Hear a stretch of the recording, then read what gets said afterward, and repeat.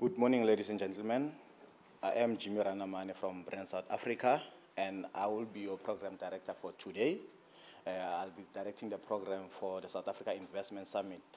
But before we proceed, uh, colleagues, I think let's just observe some housekeeping rules. Uh, let's keep our phones on vibration, uh, on silent.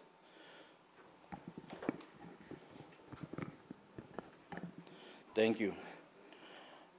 Uh, colleagues, uh, as we actually proceed with the South African Investment Summit, we are honored to have uh, our political leadership in our midst. Uh, so I would like to start this, the proceedings by acknowledging the presence of uh, the Deputy Minister in the Presidency of South Africa, uh, the Honorable Kenny Morolong, I'd also like to actually acknowledge His Excellency High Commissioner Jeremiah Mamabolo, South Africa's High Commissioner to the UK and Northern Ireland, uh, as well as MECs from the uh, KwaZulu-Natal province as well as the Northwest province, uh, executives that are present here, and yourself, our esteemed guest. Uh, the reason we actually saw it as South Africa to organize and host a, a, an investment summit uh, on the sidelines of AFSIC is that as South Africa we are on an investment drive as part of uh, supporting our country investment uh, strategy. And we saw this as a platform fit for that. Uh, but I will not talk much more on, the, on that one. Uh, we have speakers who are already uh, on the stage, and we'll actually also have a panel discussion later on, which will unpa unpack the type of investment that we are looking for as a country. Uh, on that note, uh, I would also like to request His Excellency uh, High Commissioner Jeremiah Mamabolo to actually welcome and open the session officially for us. Thank you.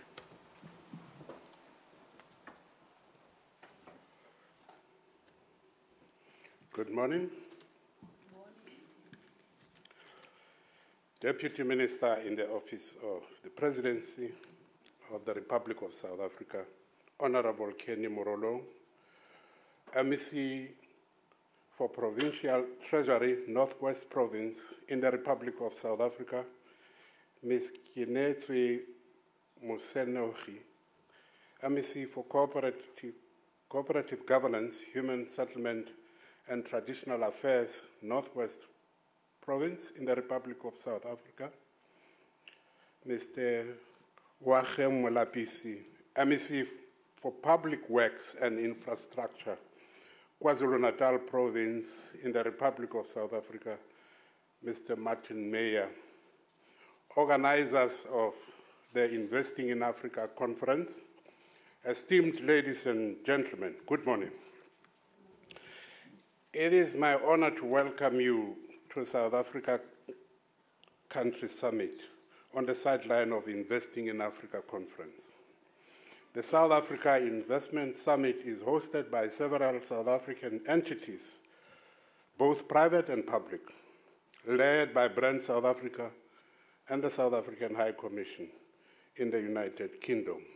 These entities include Business Unity, Unity South Africa, Infrastructure South Africa, ABSA, and the Development Bank of South Africa. 2024 is an important year for South Africa as our country celebrates its 30 years of democracy.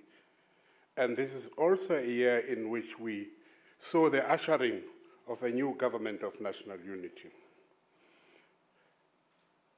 The objective of the South Africa Country Summit is therefore to reassure the investment community following these elections that the new government is still committed to implementing reforms aimed at fast-tracking economic growth and investment in South Africa. We have just completed the Deputy President of our country, His Excellency Mr. Paul Mashatile, leading a delegation of ministers of government of national unity, completed a week here in the UK, and with a clear message. South Africa is united. South Africa is ready to do business. Through the various presentations here today, you will hear from different stakeholders that South Africa is a viable destination for foreign direct investment and possesses unique strengths which makes it an industrial hub on the African continent and a source of high quality exports. Furthermore, our Northwest Province and the University of Stellenbosch will, as part of today's program, provide us with a snapshot of some investment projects in their specific localities. Whilst uh, Honorable Kenny Morolong, the South Africa Deputy Minister in the presidency, will deliver the keynote address and set the tone in today's panel discussions. Ladies and gentlemen, I hope that by the end of the summit, we would have invigorated you, your interest in South Africa as a trade and investment partner. Without further ado, welcome to South Africa Investment Summit. Thank you. This is who we are. More than 60 million different voices echoing in harmony from the southernmost part of the continent, where ordinary people have carved their names in an extraordinary history by showing the world that peace is always better than war. Our reach is not limited by our borders, bringing joy in people's hearts and a spark of rhythm to their moves. This is the welcome home of opportunity, inspiring millions to look here in search of a better life, and sharing our best with the world. We are home to undulating mountains, flowers, endless seas, the beautiful animal kingdom, and the ever-changing seasons that color our world. We are the birthplace of humanity and a showcase of human excellence. We believe in South Africa. We are inspired by our victories of the past and our strong institutions to overcome the challenges of today and build a better tomorrow. This is who we are. South African. South Africa, inspiring new ways. This is a message by Brand South Africa. Thank you, High Commissioner. I thought it would be proper for us to close your speech with that uh, message from that video uh, curated by Brand, Brand South Africa, but also to actually, before we get into our presentations, to actually uh, start off by showcasing who we are as South Africa. Uh, our next speaker, uh, ladies and gentlemen, is actually MEC Mosenogi from the Northwest Province. MEC, over to you. Thank you very much, uh, Ntate Jimmy, for the opportunity program director, His Excellency the High Commissioner Mamabolo, and the Deputy Minister in the Presidency. Let me take this opportunity to appreciate and also acknowledge the two MECs that have joined us, but importantly yourselves as our guests, as it has been stated. Northwest Province, it's located in South Africa. It's a landlocked province bordering Botswana and other, other provinces. Importantly is that we are a population of 3.8 million people, according to the recent statistics report. We are a home to the Big Five residing in the Madikwe Nature Reserve and Pilanesberg Nature Reserve. Of importance is that our conservation estate is located within about 14 nature reserves in the, in the province, and that presents an opportunity for commercialization, especially in that environment. We have a politically stable province. Recently, obviously, we are not a part of the GNU, but because of the decisions that have been taken nationally, we also adhere to the objectives and agreements that have been made in the GNU. And importantly, we have a clear regulatory framework supported by regulatory institutions that are robust and functioning. We have two renowned heritage sites, which is the Taung Skull and the Vredefort Dome uh, heritage site. We are a home to also the iconic Sun City and host Northwest University in two campuses. We have about three vocational training institutions, including two specialized colleges focusing on agriculture and tourism. Our healthcare services, both from private and public sector, we have two primary hospital, tertiary hospital, community health centers, and more than 180 clinics across the length and breadth of the province. We have significant cultural sites, which is Kaditshwene and Dinkwaning. And that also forms part of the tourism basket, which also includes um, opportunities in the conservation estate.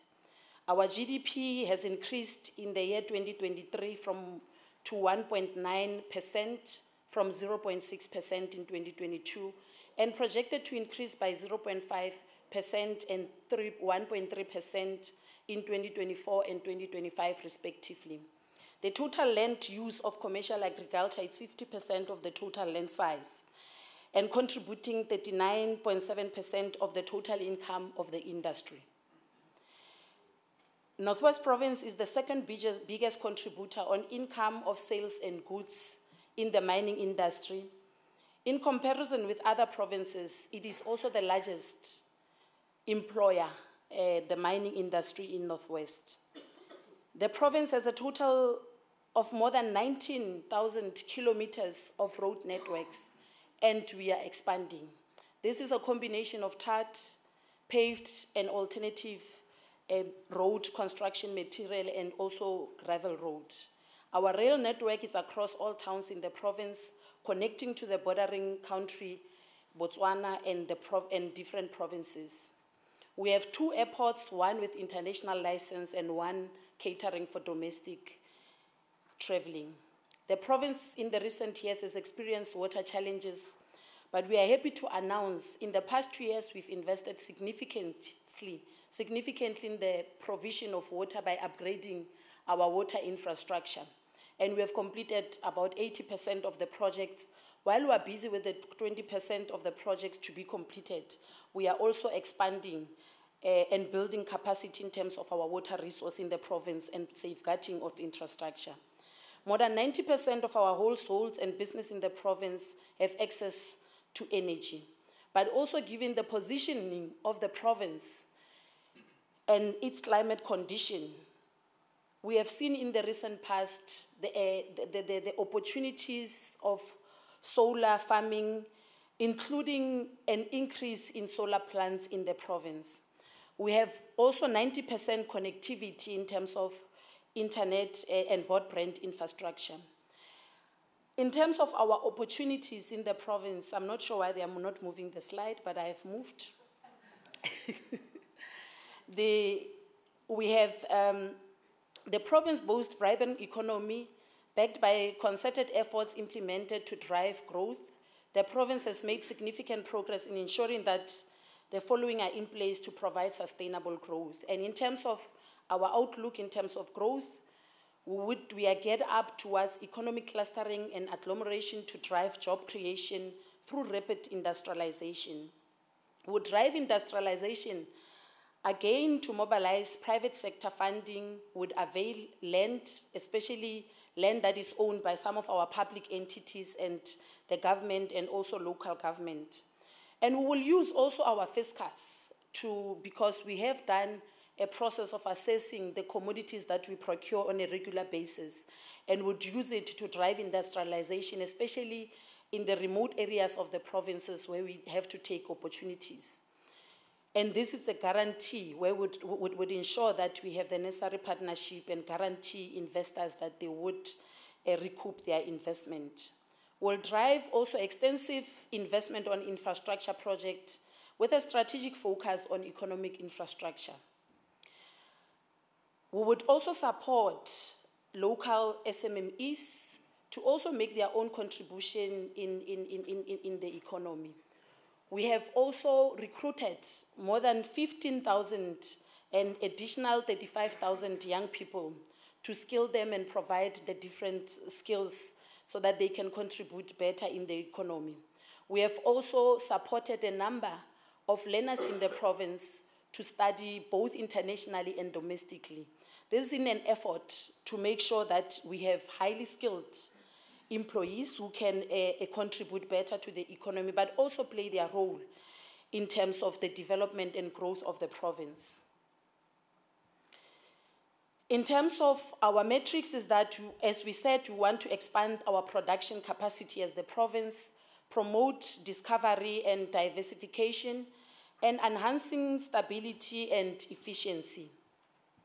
And as we have stated, that the province it's a gateway um, to SADC countries located just right in the border and adjacent to Zimbabwe and Namibia, but also a neighboring province to Gauteng, Limpopo, and Mpumalanga. The province is divided into three regions. The Bojanala region, which is where our economic hub is. Majority of the mining operations in the province It's located in the Bojanala area. And also importantly, it's where the special economic zone is situated that presents also opportunities for investment.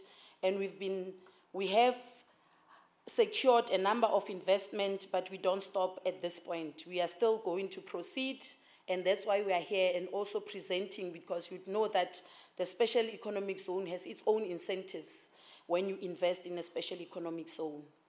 The Modiri District Municipality, it's positioned as an academic center and a research hub of the province. There are opportunities of cultural heritage, as I've stated, that we have Kaditshwene, which is a, a, site of cultural significance and also presents a huge opportunity. But there are other industrial opportunities, and one of our international airport is located in Ngaka Modiri Molema.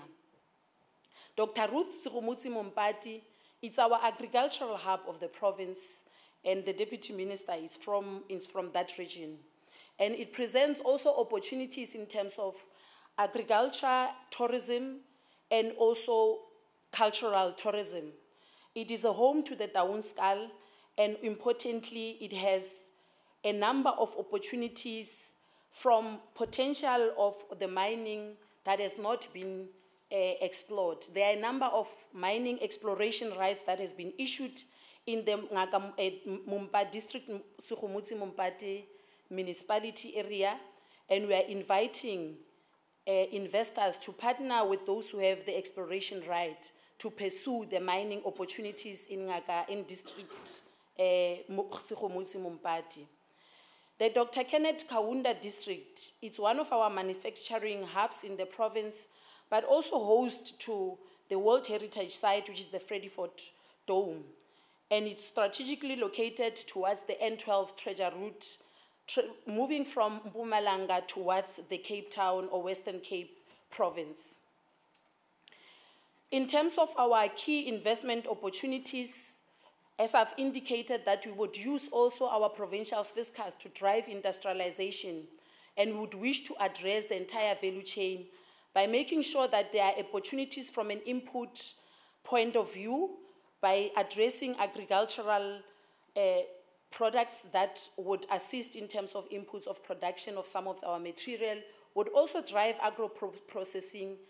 In addition, the mining present opportunity in terms of mineral beneficiation, the automotive components, some of our industrial parks, we are revamping them to cater for automotive industry.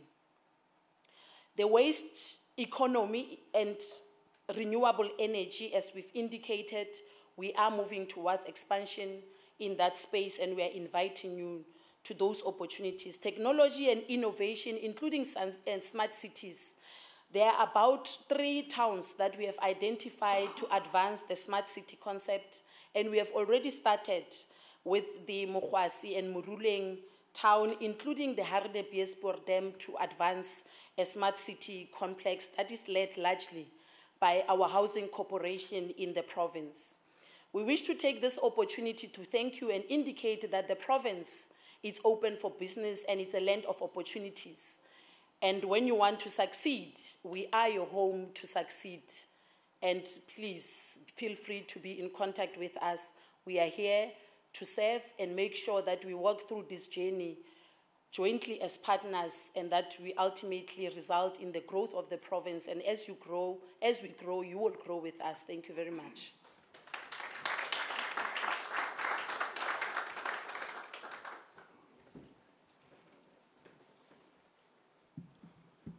Uh, Thank you, MEC. Uh, Thank you for the snapshot into the Northwest Province. Uh, We hope after your speech that there's already an investment deal that only awaits your signature. So let's be on the, on- on the lookout for those investment deals. Uh, Earlier on, you saw on the video that we shared that as South Africa, we inspire new ways. So the next speaker uh, from the University of Stellenbosch, Ms. Anita Nel, will actually come and present and showcase how we inspire new ways by presenting a new investment case. Thank you. Thank you. Thank you very much, and all protocols um, observed. Um, I would like to speak about um, what our university is doing and why university technology has always been a highly overlooked um, investment asset, but is actually quite an important one. I just want to see how the. Okay, there we go. Okay, our university is ranked among the top 350 in the world, um, consistently on the top three of the, Af- the African continent. We have 35,000 students, a third being postgraduate, making us a research intensive university.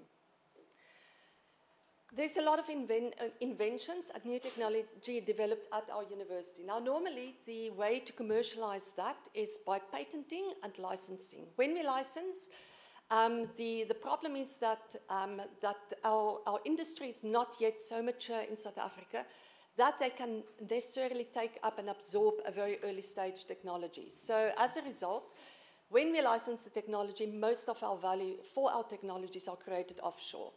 So the other option that we have is to create a spin-out company, and we do that very early stage.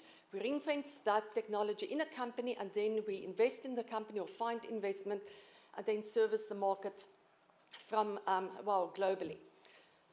The problem, however, as I mentioned, spin-out companies of university technologies have never been a, a big hit or even on the radar of, um, of investors. That's always been a very overlooked investment asset class. So we tried our best to, um, to reduce the risk for investors. We started an incubator where we provide extensive services, including programs, but also precision incubation for our companies. We developed a tool, an online tool that is available for any entrepreneur who wants to start from, I have an idea, but is this a business? So it takes you through the entire step. There's a lot of education. You can see we take it literally from validating your idea, looking at your customer segments, throughout to the point where we actually um, help them to set up a, um, a data room. And by the time an investor walks in there, 80% of that data room is already fully populated because we have huge experience in, in raising funding. We think we understand what investors want. We went even further and started to spin out concierge. This concierge negotiate on behalf of our 30 plus companies in our group um, huge discounts from service providers, legal services, um, bookkeeping services, etc. We also take the, the burden of a lot of the administration out of the hands of the, of the young, mostly young um, entrepreneurs and CEOs so that they can focus on bringing the, the business to the market.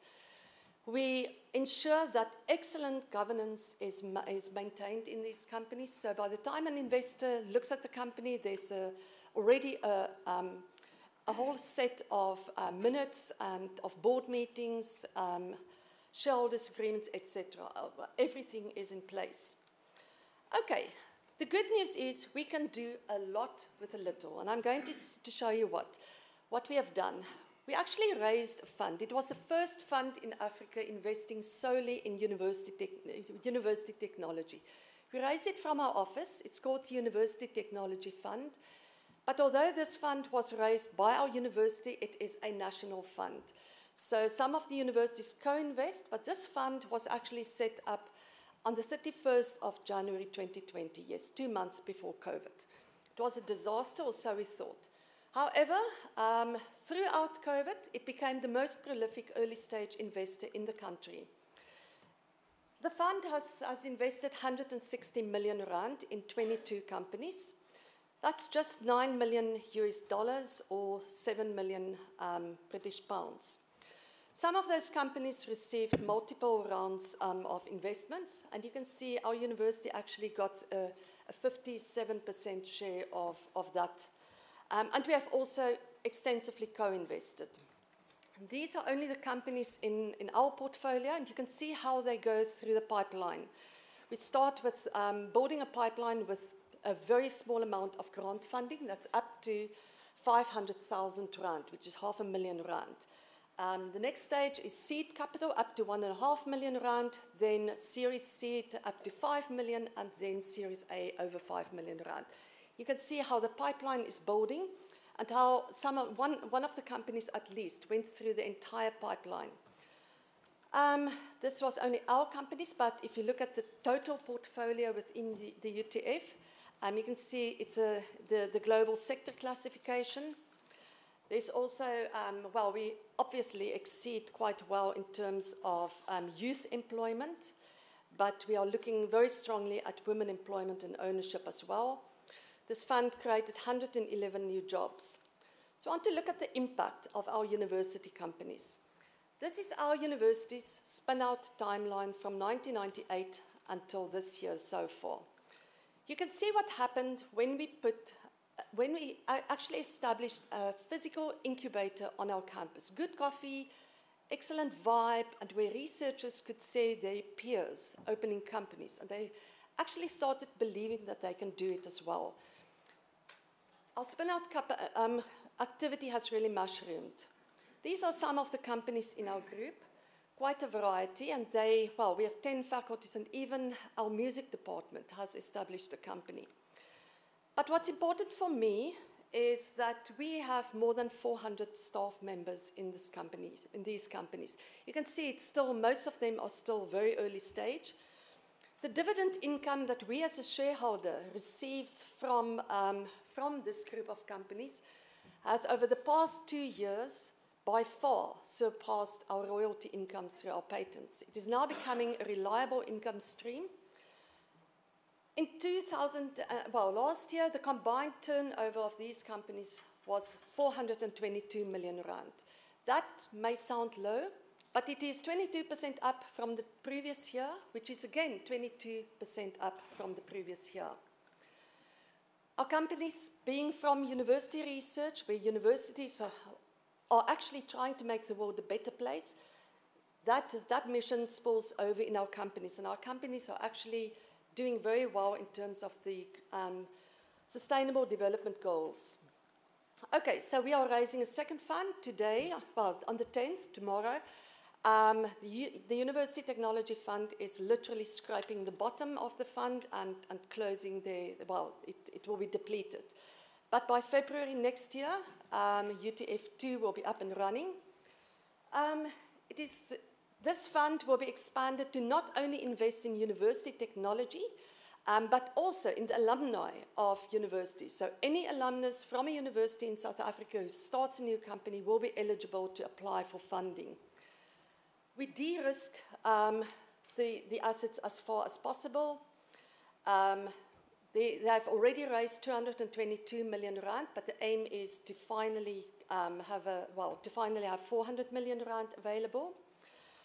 We have already a very good track record. Um, and then, yeah, I think it is, it's a great opportunity. The, the mere success of the first fund that was sort of um, born in a stage where no one thought it could, it could succeed. And here we are four years later, and we are raising, well, we are very close to operationalizing the, the next fund. If you look at the, um, at the countries um, in which university funds um, invested in spinouts. And this, these figures are actually over the past 10 years, but our fund has only operated from 2020 to 2024. If, if that, this fund's data was included in the data set here, it would have been, I think, in eighth position. Okay, so the opportunity is to invest directly in our university spinouts. Um, we have fantastic um, companies. We have one company with absolutely no market in South Africa. They say they build um, control systems for satellites. NASA is one of their clients, Airbus, all of those.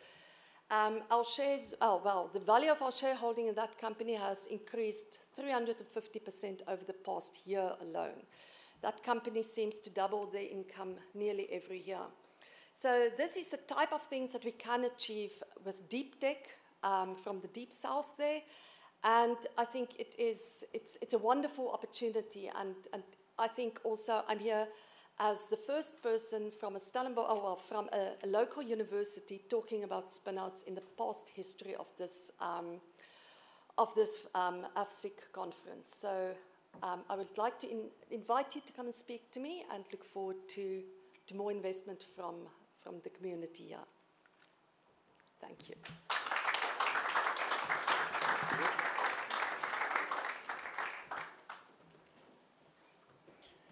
Thank you, Anita, for the inspiring presentation. South Africa is indeed a land of opportunity. Ladies and gentlemen, please note that the session will become interactive as, we, as it progresses. So we are not just going to deliver presentations only. You will be able to interact with the speakers uh, later on. Uh, now, ladies and gentlemen, let's welcome the Deputy Minister in the Presidency, Honorable Kenny Morolong, to the podium as he delivers the keynote address for today's session. Thank you. Thank you very much, uh, Program Director. Let me uh, preface my speech by requesting you to pardon my voice. I've uh, been unwell and I'm recovering from a very terrible cold. High Commissioner of South Africa to the UK, uh, Bolo, uh, Deputy High Commissioner Ms. Matlaku, members of the Executive Councils uh, representing two of our provinces, MEC Mosenogi, MEC Molapisi, and MEC Mayor, the entire South African delegation, the investor community, ladies and gentlemen. Let me take this singular honor to greet all of you on behalf of our government and our people.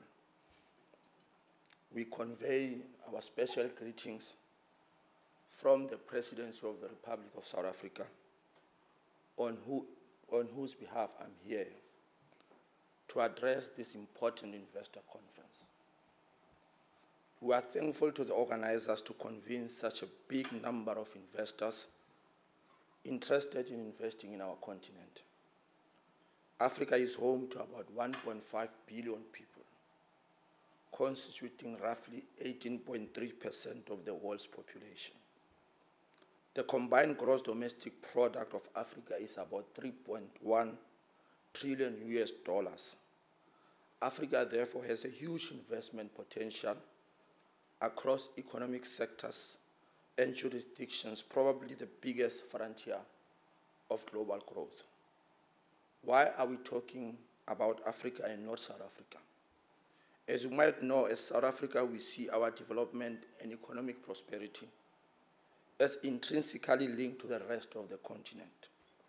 In this regard, we are using the Africa Continental Free Trade Area to drive investment into Africa to ensure our economic prosperity as an African country and for the rest of the African continent. Ladies and gentlemen, as you are aware, we are operating in an environment in which geopolitical and global trade is rapidly changing we have in the recent past experienced weakened global growth, rising tensions, conflict, disruptions of global supply chains, global energy crisis with rising cost of energy, especially for the planet, food insecurity, and heightened threats to cybersecurity. The global economic growth trajectory remains sluggish in 2023 returning a mere 3.2% growth, which signified a decline compared to 3.5% of 2022, according to the International Monetary Fund data in the World Economic Outlook. This sluggish growth was inanimated in the developed economies, especially in the Eurozone, due mainly to the disruptions in the global supply chains, especially in energy products, edible oils, and fertilizers. These brought about a sharp rise in prices of foodstuffs, leading to heightened consumer inflation that is devastating, especially on the poor. This also gave rise to high levels of food insecurity, especially in the developing economies of the world. This being said, leaders across the many sectors of our society must rise to undermine these challenges, to give humanity a sustainable chance of survival. We have to deploy all our resources to ensure sustainable growth, secure those who are food insecure, reduce tensions that disrupt global supply chain, invest in productive sectors and network industries that stimulate economic growth, especially in emerging economies. Ladies and gentlemen, we are here as Team South Africa, which I have the honor to lead to showcase opportunities for investment in South Africa. To assure you that South Africa is an investment destination ready for investment and to do business with you. To give assurance from the South African presidency that our country is a democratic and rule-based destination with active and participative citizenry.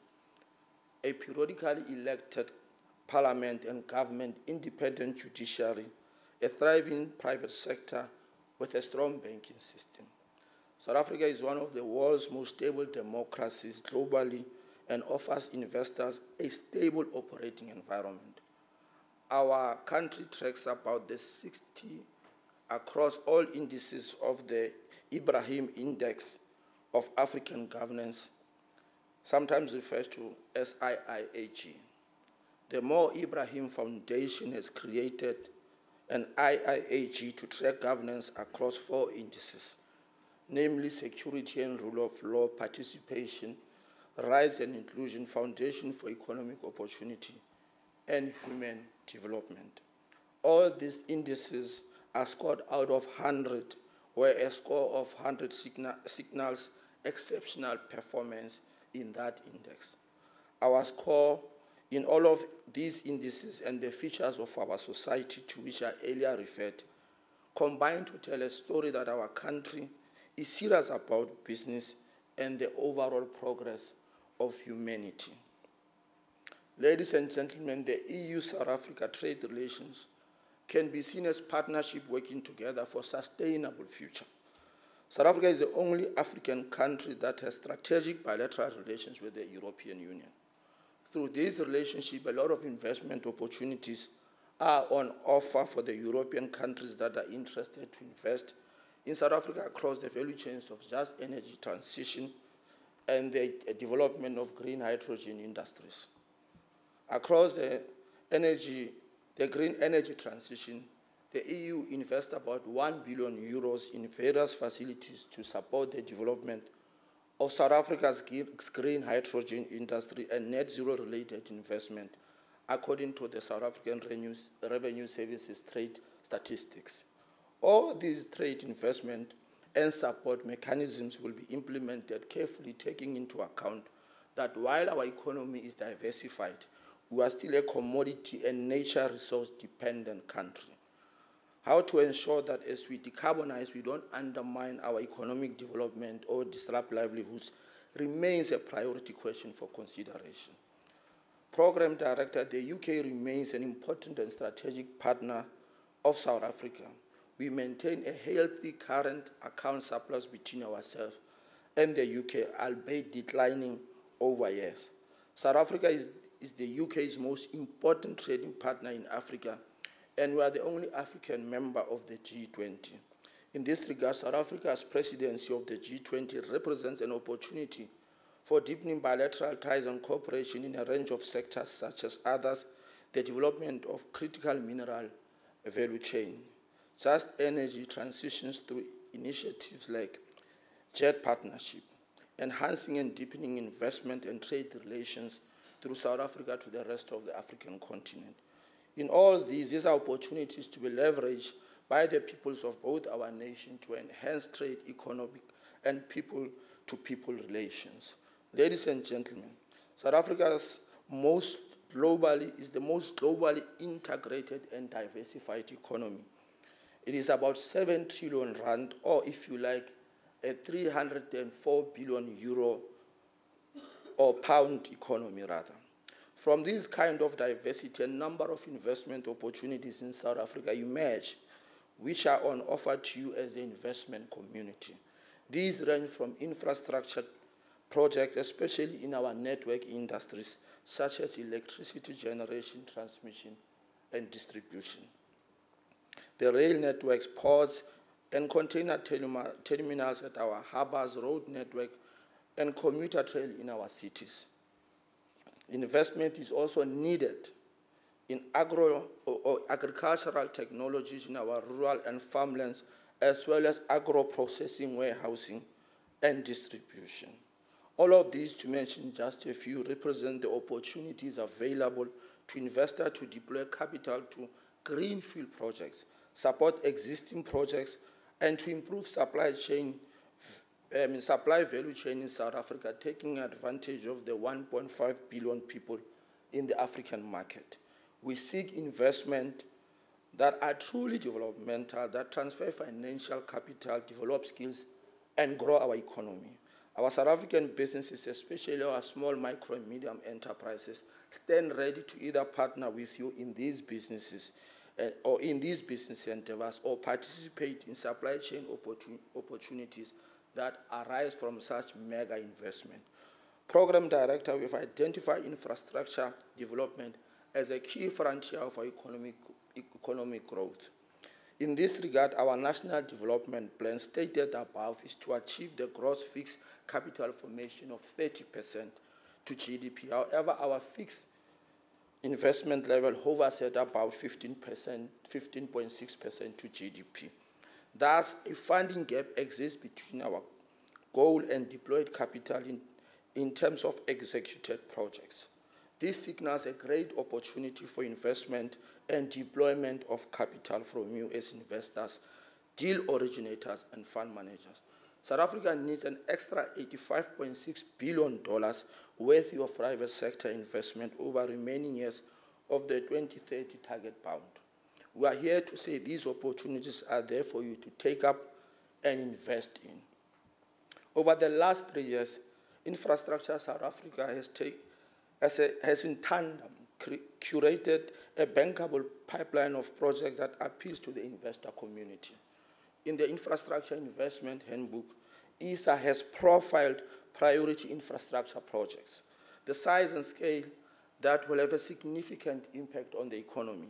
They underscore the deeper collaboration models between the private and public sectors that ISA has embedded over a period of time to develop a comprehensive pipeline of bankable projects. In some of the projects, we intend making fiscal allocations to de-risk them and make them attractive to private sector participation through public-private partnerships. We believe that investment in these mega catalytic project will stimulate economic growth and increase aggregate uh, demand. Thus, our business case is that your investment will yield returns for you. Therefore, this represents a business opportunity for you, which we encourage you to take advantage of. I have made a long-winded proposition to you to simply say this to you, that South Africa is open for business. Come and invest in South Africa. Thank you very much.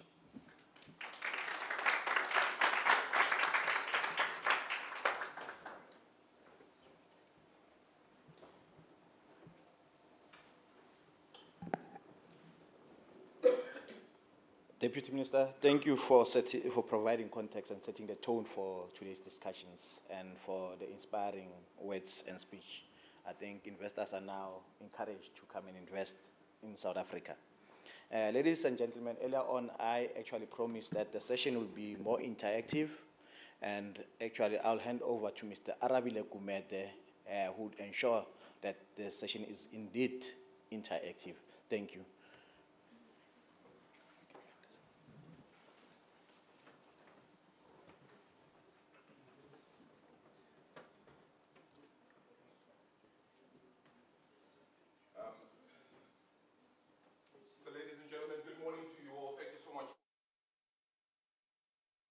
Let me begin things then by just observing all protocol as well, because it is very important um, to do so. To the Deputy Minister in the Presidency, Mr. Kenneth Morolong, the High Commissioner, Jeremiah Mamabolo, Deputy High Commissioner for South Africa, of course, in the UK as well, Dineo Matlaku, to the MECs for both the Northwest Province as well as KwaZulu Natal, government officials, business leaders, ABSA, of course, as well as many other corporates, Brand South Africa, and everyone else, our remaining and wonderful guests. Thank you so much for your time this morning. Really appreciate it. The name is Arabile Gumede. I'm a financial journalist. And I want to start off in a moment or two by introducing our guests, but I'm going to say this from the onset. This is a, a good news story for South Africa if we've wanted a new frontier, if we've wanted a reason to get into what is 100% the most advanced, whether it be by infrastructure or other development in the continent of Africa, we're certainly speaking about it today. We're not just talking about a place that exists as a certain utopia. We're talking about a place that has maintained hope that has grown its economy, that has withstood the test of time, no matter how difficult things have been, and maintains that desire to lead today. And I will implore all of us to not only invest in South Africa, but also go out there and seek further investment in South Africa. So allow me to uh, bring on on stage then Ms. Mameetse Masemola, the head of infrastructure South Africa. Mr. Nesro, the acting head for syndication and transport then for the Development Bank of South Africa. Ms. Cheryl Buss, the CEO of ABSA International, and Mr. Ed Harkins, the Director for Trade and Export Finance at the, at the South African Chamber of Commerce for the UK. Now, the reason, ladies and gentlemen, they get a journalist to host a panel discussion is because the aforementioned part is fairly easy. Oh, sorry, sir. But this is where the critical questions get asked. And so they make me the bad guy. but it's fine. I will do the hard slog and I will do the hard job. But please allow us to, to engage in the session. We hope that you can also ask questions a little bit later on, and we'll ask that a roving mic comes around as well if you have any questions yeah. for our panelists. With that being said, why don't we start off with the main aim of the conversation, which of course is infrastructure. And I will ask then if Ms. Mameetse Masemola could just perhaps share, to start off with, just the critical roles that are driving, the reason why this critical role of driving infrastructure in South Africa, one, is so important. But also, what measures is infrastructure perhaps implement or implementing infrastructure in South Africa to ensure the acceleration of project rollouts, especially in sectors such as transport and water infrastructure. So what are those measures? Thanks so much, Arabile, um, the program director for this particular session, and my fellow panelists um, as well. Um, just to, let's start off by explaining perhaps the role of Infrastructure South Africa in, in the country. We have been established uh, by the President in um, September of 2020 to drive the infrastructure investment program on behalf of the government of South Africa.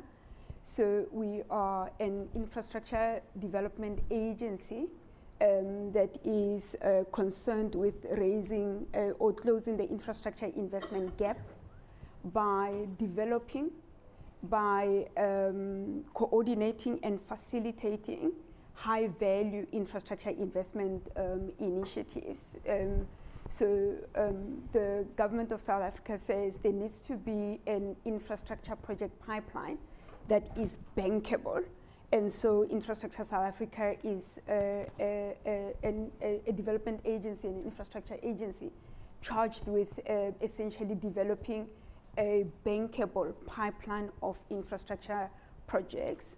We look at the, the priority sectors on our side are the network industries, so is energy, is water and sanitation, um, ICTs, as well infra, uh, information communications technology, as well as um, transport. And in transport, in the main, freight transport. So looking at the ports, uh, looking at airports, um, etc. And then, of course, the lastly is the human settlements uh, uh, sector or integrated housing, as um, some will, will, call it.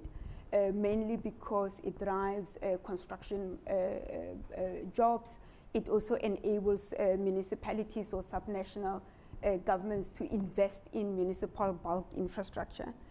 We are um, spearheading and championing the infrastructure program by ensuring that these projects on an annual basis, we get to um, announce uh, these projects that are ready for investment, um, that are ready to crowd in private sector financing, that are ready to um, inject private sector participation in one way or the other.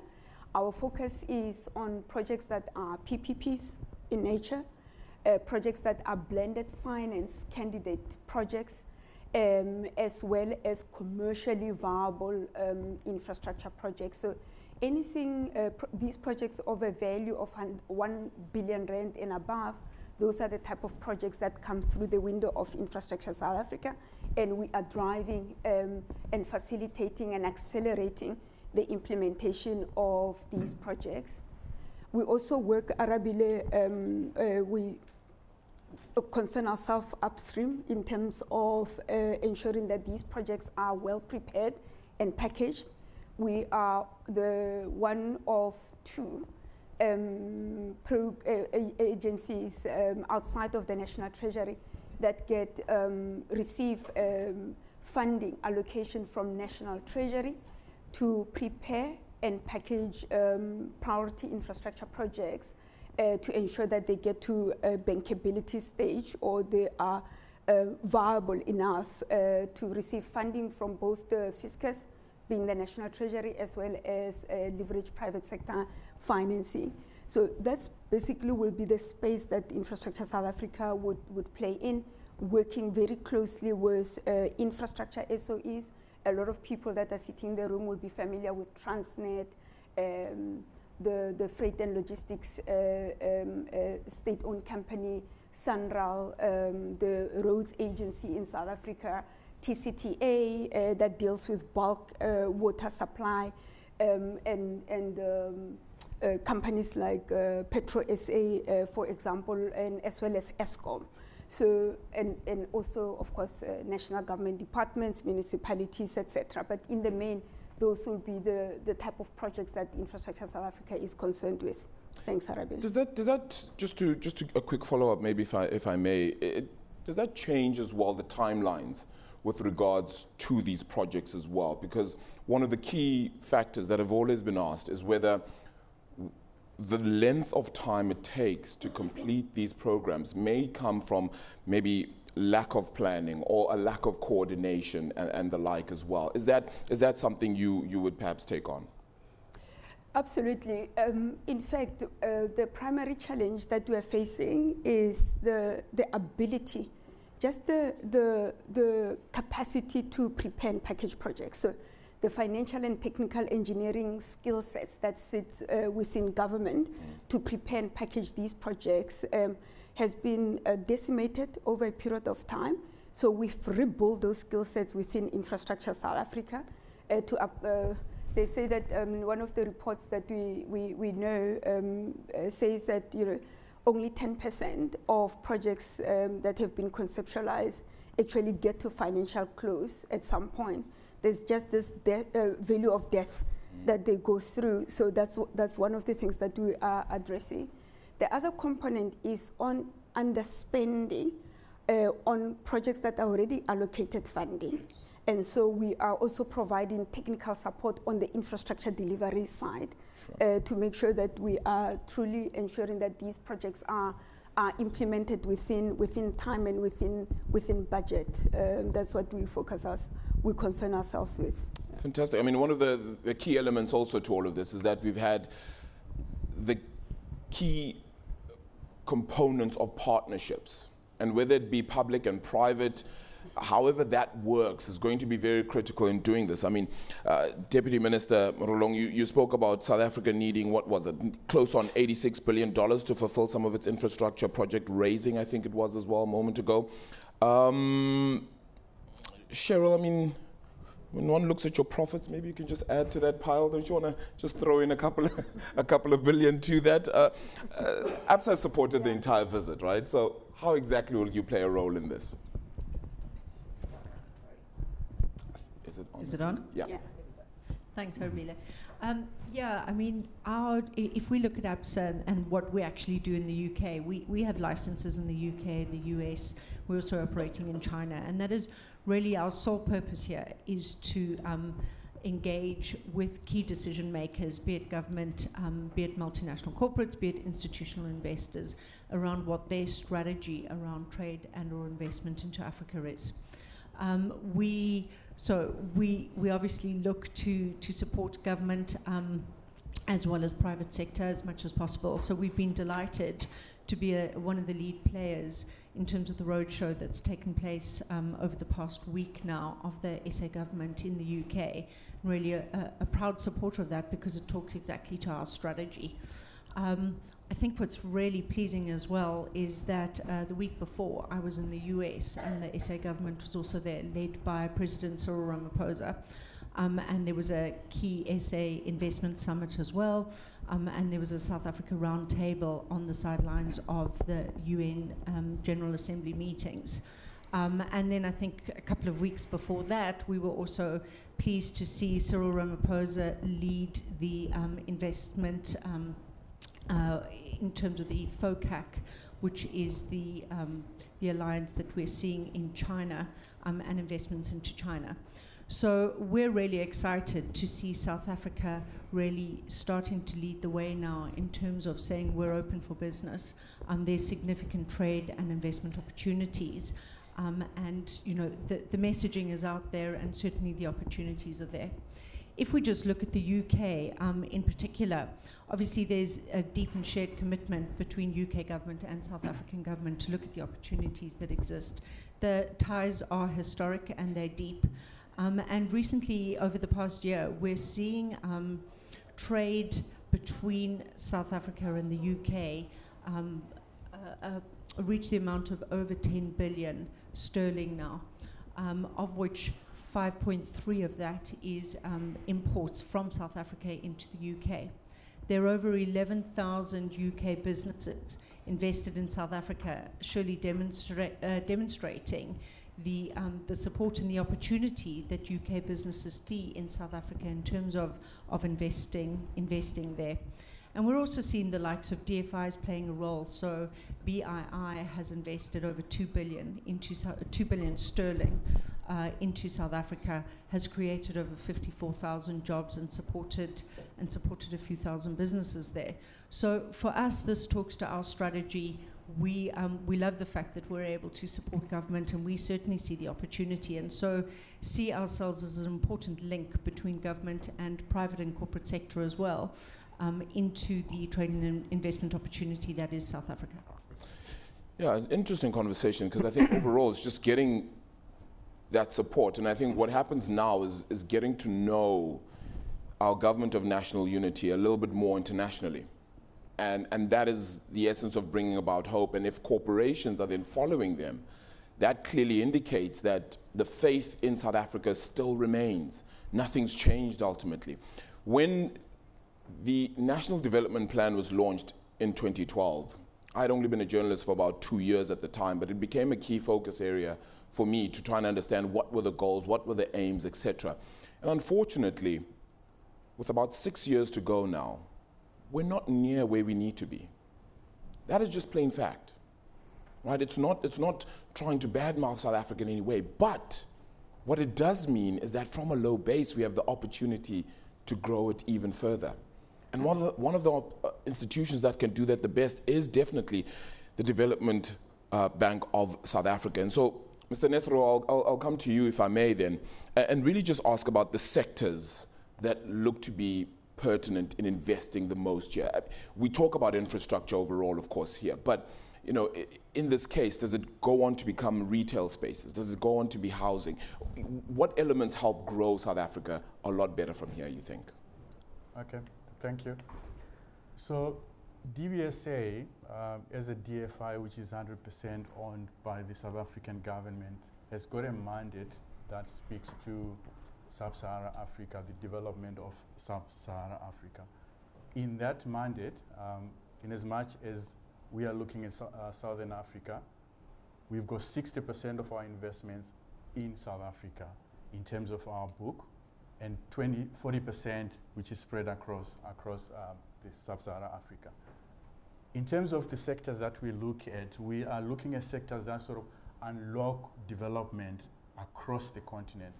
Critical value chains that unlock mineral extraction, manufacturing, that unlock uh, trade, that, that unlocks trade and also mass transit in terms of public transport systems. So from a sector perspective, what we're looking at is energy, transport and logistics, ICT, water is the key sectors. But we're also, we also look at social infrastructure, health, education, because we think that this is important in ensuring that we've got capacity in the continent to be able to deliver on the specific uh, economic goals. So from, from that perspective, as a DBSA, we focus on the infrastructure that will unlock development across the continent. And we think that there are other players that can then play in the retail space.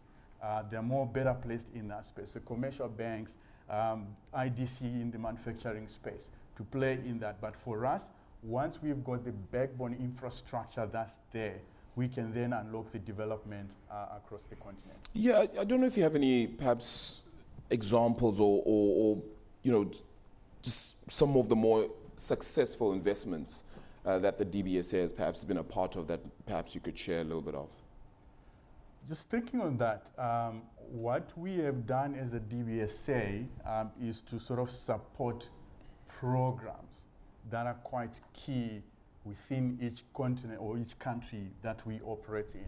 So for example, in South Africa, which is one of the most successful programs that we have supported and initiated is the Renewable Energy Program that we have worked with government, the Department of Energy, to ensure that there is investment in the generation, distribution of power in South Africa. So that energy program has been one of the key aspects or programs that were supported as the DBSA. Some of the projects that we have funded within that program include the Mpofu Wind Farm uh, in, uh, in Eastern Cape, which is a 336 uh, megawatt project, 11 billion rand in terms of investment capital, mm. but DBSA provided about 3 billion of that. And I'm happy to say that 50% uh, of the investments that we provided was given or supported um, local players, the community, to participate in the, in the projects.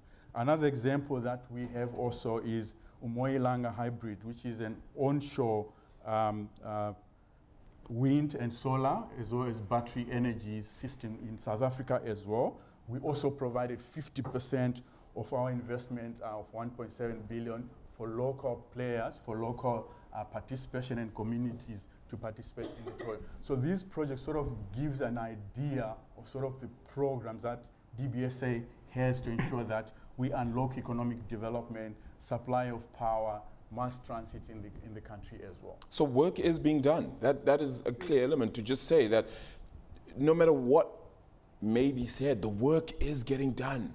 South Africa does have the ability to do so. And I suppose further, further endorsement of that, further understanding of that is definitely at play. And I just wanted to point you as well to this little leaflet um, as well that should be in and around us uh, right now. And if you haven't taken a read through it, please do. Because if you're wondering what infrastructure developments, how good South Africa's infrastructure growth has been and is right now, there are absolutely incredible examples here, things that perhaps not many of us even knew of. And I implore you to please take a look at the leaflet talking about investing in South Africa. Mr. Ed Harkins, good right. morning to you, sir. Good morning. Um, this is typical weather here, isn't it? This, this rain. A little bit. I'm, I'm sad to say. I think that's the reason the deputy minister is also sick, actually. So we're going to blame you for that. um, so um, you've, you've successfully hosted the deputy president um, over the last week, of course, the deputy minister, and amongst other ministers as well, other government officials, um, so many as well. What perhaps could you could you perhaps share then over the last week as as your engagement has come about? What has has really meant you, you can see the step forward for relations, but also just the growth of South Africa? Oh, good question. Um, well, I think what I observed, and actually just to say, I mean, the Chamber, um, I look after trade in the Chamber, and the Chamber's primarily here to drive trade and investment into and out of South Africa, and mainly made up of uh, volunteers like myself, and I'm an ex-banker, I used to work with, with Cheryl, so I'm very privileged to, to be here. I think what I observed um, over the last week, really, was just that in, and our role is really getting the message out there, but and it's a really positive message. Yeah. Uh, as you said, um, South Africa is open for business. Um, we had uh, that message from the Deputy President, from His Excellency the High Commissioner, um, also from the new Minister for Public Works um, and Infrastructure, who I think talked about how he wants to make South Africa um, a big building site um, and get on and really drive projects. Um, so there was a really positive message. Um, as Cheryl said, uh, they've been in the US, they have been in China. So there seems to be a real emphasis to uh, get the message out globally yeah. that South Africa is back open for business with a stable government, uh, you know, strong rule of law. It's the place to invest in Africa on the continent because if you want to do uh, you know, set up a hub on the, on the continent, Af uh, South Africa is the place to do it. Um, so that I think what I took away from last week is, is that really strong messaging and commitment. I mean, a lot of the team are still here. They've been in, in London yeah. for, for 10 days. Um, that's a long way, long time to be away from, from home. So I see real commitment, real energy and a real drive to, to get on and make the changes that South Africa needs. All these people need to need to go home and finally do that work, yeah. right? At some point. Yeah. So get back to 10 better days weather. or something, at some point they need to all go home. So we have to leave you here though right? So what does the chamber then do to drive that investment growth, that investment idea for South Africa then moving on from here? Well, another, another good question. Um, I, well, as I said, we're, we're here to try and connect and, and drive uh, trade and investment into and out of South Africa. How are we doing that? Well, we obviously had the honour of hosting the delegation uh, last week at two, two functions, including the High Commissioner over there. Um, I think this is the um, fifth or sixth time when I counted it up, see that we have yeah. hosted you and your team in the last 12 months, but either here in London or in South Africa between myself and uh, our, our outgoing chair lady. So we, we're already doing a lot in this space. Um, we're keen to do more of that um, and host sessions with uh, government ministers coming in and out of South Africa to bring together our members like ABSA um, and non-members um, who can deliver um, both infrastructure or professional services or uh, legal services and actually bring together all the people in the room that can actually deliver the, the change and investment that South Africa needs. So, so more of this sort of thing. Yeah, have you found more private partners looking to get involved as well? Or is that the message also to plug into, to say, look, we need the private sector to also be able to play a part in this because it benefits them ultimately in the end as well? Well, look, I think that there's been some challenges in South Africa, but that obviously creates opportunity. And um, when you start talking about the kind of numbers that, uh, of investment that South Africa needs, and I think um, someone's talking 60 billion, um, I looked up, I think to hit the UN's um, sustainability um, goals by 2030 requires $330 billion worth of investment. Mm. So what that means is every source of liquidity and investment, be it equity, um, debt, bank, bond, export credit, needs to play a part. And I think uh, we can help connect the dots and bring the right people into the room and bring um, banks like ABSA in to, to deliver the needs that South Africa has. Confidence is a big part of that, isn't it, Cheryl? I mean, if you have confidence that indeed the country is on the right track, is looking to move itself forward, is finding that development to be a key part of its growth, then corporates get involved. Yeah, absolutely. Um, I, I, mean, we, we, we've always historically seen corporate investment. Um, I think more recently we've seen some disinvestment. Um, but I think now we're starting to see um, the excitement and the interest um, growing into South Africa. I think it is, everyone said it, but really also key as we look at the wider continent development and growth ambitions and the opportunities that we see in the wider continent, mm. that opportunity for South Africa to be a gateway into Africa is real. South Africa has the deepest capital markets. South Africa is the most liquid. Um, South Africa has the ability to, to raise the financing. So it, it makes sense that it positions itself as a, as a gateway. From our perspective, you know, we are a Pan-African bank. We operate in 12, we're a systemic bank in 12 countries in which we operate with our headquarters in South Africa. And so we're naturally key financiers um, into government. We support Eskom, we support Transnet, um, so we've supported a number of projects. We've also been the, uh, one of the lead supporters of the renewable financing program. So as a bank, we have financed ourselves over, over 50% um, of the REAP program. Um, and we have financed what equates to over 5,000 megawatts of power that has been brought into the grid. So those are the type of opportunities that we exist. But I think, as has been mentioned um, by, by my fellow panelists, is that it is, you know, across Africa, sovereigns have been challenged. Yeah. And so private sector needs to work alongside sovereigns to, to find the mechanisms. As banks, we need to, being a commercial bank, we need to work with other institutional investors, we need to work with government, we need to work with other commercial banks. There's space enough for everyone. But really important as well that we work with DFIs. I think that the, the partnerships between DFIs and banks are critical in order to make the financing or the opportunities financeable. Yeah. Um, and yeah, we certainly see a lot of opportunity. There are headwinds to work through the mechanisms, but um, the opportunity is certainly there and the return and the benefit certainly exists. Uh, we have to get excited about this, right? Because if anything, this is the development of South Africa taking it further, another frontier, another growth area, another growth spurt, if you will. We keep talking about green shoots. I'm, I'm, tired of it just being green shoots now. Now I need it to be a little bit more than that. Mameetse, you, you've, you've all, always had a, a pipeline now, and I, and I think you've been able to, to garner and grow so much as an entity now that you've got these pipeline projects. Are, are, you able to share any, any promising projects to look forward to, to keep us galvanized and understanding that there really is this development and this growth moving forward? Thanks, or, uh, Arabile. And I mean, one of the things that you've just mentioned now is around building confidence. Yeah. Um, in the work of government, especially in relation to the building um, of this uh, uh, pipeline of bankable projects. Just to indicate that um, from, from our side, um, internally, how we work is that we, our governance structures um, includes uh, the participation of some of the DFIs, um, as well as the infrastructure fund and the national treasury.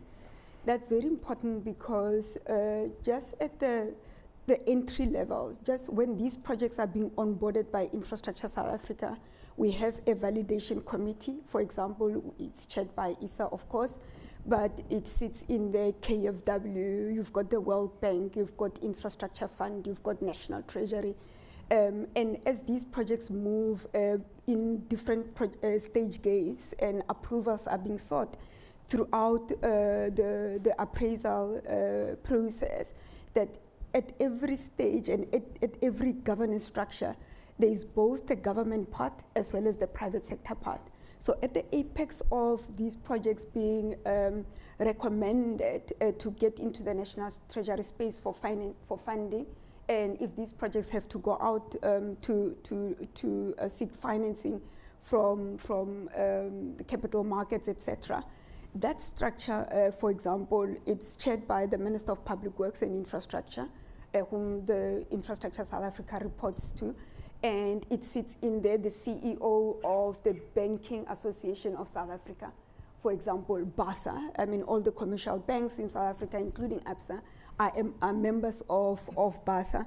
The, the point I'm making is that the projects that we are um, uh, uh, uh, spotlighting the projects that we're bringing visibility uh, on, and it's included in our infrastructure investment handbook. Um, they have been carefully um, uh, uh, um, curated, essentially, yeah, and they have been um, looked at in terms of financial viability by both uh, government, including ourselves as Infrastructure South Africa, as well as your DFIs and, and, and in some cases also uh, commercial, commercial banks. So some of these projects um, that I can talk about now is um, a project Ukuvuselela. Um, this is a Transnet freight rail project. It is aimed at um, supporting OEMs in the form of Ford, as well as BMW. Uh, they have manufacturing plants in um, Pretoria. So we want to be able to upgrade, working with Transnet, to upgrade uh, the rail network to get these cars out of uh, inland in Pretoria through to the port of Gqeberha and out into export markets. Uh, this is a 9.6 billion rand um, uh, investment required by Transnet uh, 2 billion rand of, the, of that money um, has been secured from National Treasury as part of de-risking this project, uh, working with uh, Infrastructure Fund, JJ there at the back, um, to de-risk that project. So the rest of the money, uh, the Infrastructure Fund will work with both the IDC, DBSA, and Transnet to raise the, the balance of that funding uh, from the likes of um, ABSA and, and others that will be interested in, in, in investing in that project that's one of the, uh, the, the, economic sort of uh, projects, uh, economic sector projects that I can speak about. On the social side, uh, the one of the most interesting ones is a um, hospital um, in the Western Cape, Tiger Tygerberg Hospital. Um, it's a tertiary hospital um, in terms of the categorization in categorizations in South Africa around these hospitals. They will be seeking to build a, a new wing to the, to the, to the existing hospital uh, to create a, another 900 beds um, for, for the hospital. It's a PPP project. Um, it has been, um, it will be going out to market, uh, for example, to look for, uh, to, for, for funding. Yeah. Um, as well as the, the actual construction of the hospital itself. Uh, the Minister of Finance has been saying to us that uh, even if we're looking at social infrastructure projects, they have to show that the, they can inject private sector financing and private sector participation one way or the other, because gone are the days where uh, we would look at projects that relied 100% uh, from, from the fiscals. Um, so we have also pivoted our own project pipeline to align with the requirements uh, of National Treasury in that regard. So that will be one of the social infrastructure projects, for example, that I can speak about that will be of interest to, to, to the colleagues sitting there. Yeah, I mean, I mean, one must remember that, you know, just with regards to the first project you even mentioned as well, right? Vehicles in terms of South Africa, at least 400,000 vehicles leave South Africa now set for export. That was a 13% increase from the year before. 13%. So imagine what the infrastructure development now could do further if we increase rail, for example, yeah. and the transportation of elements like our vehicle exports. What that does globally, forget just in South Africa. Right, we're talking about one of the top exporters of vehicles across the continent. Right, so I, I think I think those scenarios are, are definitely very helpful. Uh, Mr. Rowe, I'm going to just come to you as well very quickly as well to, to unpack just a key sense, and that's just the timer, just letting us know we must nearly be done now. Um, oh. And then I'm going to ask for questions in a little bit as well. Uh, Mr. Rowe, just because this conversation relates to DFIs like yourself needing to be a part of this process, how do we let people like the Development Bank of South Africa get in a little bit further on this process? What happens from here? Sure. Um, so the need for capital uh, to unlock infrastructure development in Africa is so huge that one entity is not able to bankroll that. So as the DBSA, whenever we're looking at investing in projects, we're looking for opportunities on how we can catalyze our capital uh, so that we bring in other capital, private sector capital, institutional capital, international capital into the projects. And, and how we do that is the certain approaches that we follow as the bank. Uh, one of them is a solution we provide as a lead arranger where we get appointed by the project sponsor and then we engage our partners from a funding perspective so that they can come and co-finance with the DBSA. Another aspect that we also do is we've got what we call a project preparation division. That looks at project at an early stage. We support project sponsors. We develop the project so that it reaches bankability. And once it has reached bankability, we go out to market and raise capital for that because there has been shortage of projects that are bankable from, from a funder's perspective. And that project preparation uh, capability is to enable us to unlock new projects in that way. Another element we've also used is where, as a DFI, how do we crowd in private capital? We take sort of a back-ended solution or we take long-term uh, tenors in its, its transaction. We allow private sector to come in like the likes of ABSA. Also, we work with the ECIC, which is uh, uh, Export Credit Insurance Corporation in South Africa, which then allows us to bring in commercial banks in transactions that we'll be doing. Those different approaches enable us to unlock a lot of capital across the continent, uh, across the world, yeah. so that we deploy that into investments yeah. and, and in that way. Yeah, absolutely fascinating. Um, just any questions? We'd like to ask if there's anybody who's got a question. We do have just three minutes or so uh, for that. We've got a question right in front here. I don't know if anybody's got a microphone for, unless you can just say the question to me and I will then just say it, relay to the rest of the room. Thank you very much for this. Um, I don't know if it was mentioned or not, but I think there it is. Now that's what we call service delivery. Yes. One of the most exciting things that's happening in South Africa, um, I suppose the rest of the continent, is the creation and the regeneration of Johannesburg through the Jozi My Jozi process, which mm. I believe ABSA is a partner with us. So we're creating something called Education Town. Imagine if we were creating Silicon Valley of Africa in the heart of Johannesburg CBD. And that's where really you have the manpower to back everything that you're talking about. I would love to hear a little bit more about that because I actually represent that process in the UK and the US and would love to find out who's interested in partnering with us here to contribute to the 55 million pounds we need to make Education Town perpetually funded to offer free education to the most marginalized, who then come and support these industries we're talking about. Mm, fantastic, fascinating conversation. Thank you so much. We're going to just get another question in the meantime as well. Cheryl, I don't know if you want to add perhaps to that because it's one of the, the projects you're also involved in just as ABSA overall. Yeah, I can, I can comment on that. I can't comment on this uh, project specifically. Be, being based in the UK, I'm a little bit more cut off from that. But yes, the bank does, does is focused on that project. But I think, you know, large part of our strategic objectives is around being a force for good as well.